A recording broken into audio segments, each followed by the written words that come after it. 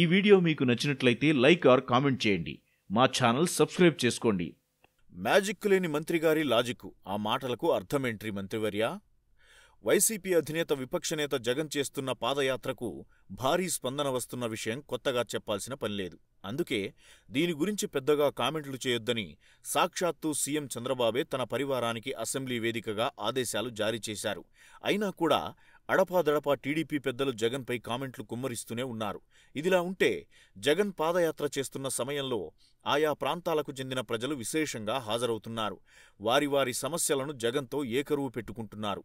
వృద్ధులు తమకు పింఛన్లు అందడం లేదని వైద్యం సరిగా అందడం లేదని బాధపడుతున్నారు. మహిళలు తమకు డ్వాక్రా రుణాల మాఫీ జరగడం లేదని పథకాలు ఏవీ కూడా సక్రమంగా అందడం లేదని ఫిర్యాదు చేస్తున్నారు. ఆయా సమస్యలను ఓపికగా వింటున్న జగన్ సందర్భానుసారంగా వారికి హామీలు ఇస్తూ ముందుకు సాగుతున్నారు. ఇక విద్యార్థులు కూడా జగన్తో మమేకమై వారి ఉపాధి ఉద్యోగాలు ఫీజు రియంబర్స్మెంట్ వంటి విషయాలపై చర్చిస్తున్నారు. కొందరితో ప్రత్యేక హోదా వస్తే తమ బతుకులు బాగుపడతాయని పరిశ్రమలు కూడా వస్తాయని నేరుగా జగన్ చెబుతున్నారు. ప్రత్యేక హోదా తెస్తామంటే తమ మద్దతు ఉంటుందని కూడా అంటున్నారు. ఇలా ఒక్కొక్క వర్గం ఒక్కొక్క సమస్యపై జగన్కు విన్నవిస్తోంది. అన్ని సమస్యలను అందరి విజ్ఞప్తులను ఓపికగా వింటున్న జగన్ తమ ప్రభుత్వం అధికారంలోకి రాగానే ఆయా సమస్యలను పరిష్కరిస్తుందని హామీ ఇస్తున్నారు.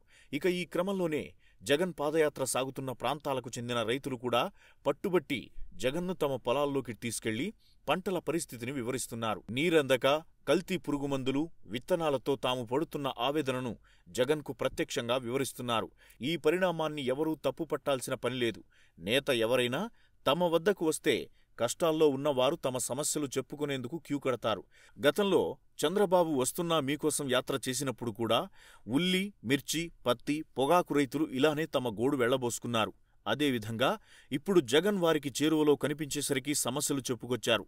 ఈ సందర్భంగా జగన్ ఆయా రైతులకు కొన్ని హామీలిచ్చారు. అయితే ఇప్పుడు వీటినే రాష్ట్ర వ్యవసాయ శాఖ మంత్రి నెల్లూరుకు చెందిన సీనియర్ టీడీపీ నేత సోమిరెడ్డి చంద్రమోహన్ రెడ్డి తీవ్రంగా తప్పుబట్టారు. జగన్ తన పాదయాత్ర ద్వారా రైతుల్లో ఆత్మస్థైర్యం కోల్పోయేలా వ్యవహరిస్తున్నాడంటూ కామెంట్లు కుమ్మరించారు.